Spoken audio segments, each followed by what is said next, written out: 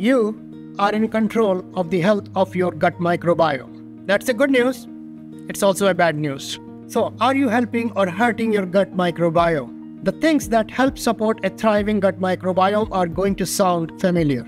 Follow a healthy, balanced diet that supports maintaining a healthy weight. Consume a variety of whole grain foods which provide dietary fiber, prebiotic fibers, and other essential nutrients. Pack your diet with an abundance of fruits and vegetables in a diverse array of rich, vibrant colors. Not only will you get both soluble and insoluble fibers, but prebiotic fibers as well. Include fermented foods that provide live, good bacteria such as kimchi, kombucha, yogurt with active cultures, and kefir. For protein, include plant proteins and avoid highly processed meats.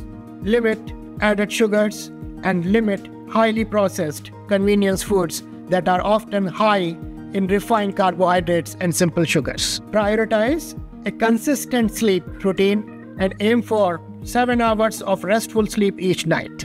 Avoid or limit foods that simply don't agree with you. Move more, sit less, try to better manage your response to life's little frustrations. Practice relaxation techniques to maintain calm. By following these 10 tips, you can play an active role in maintaining a healthy gut.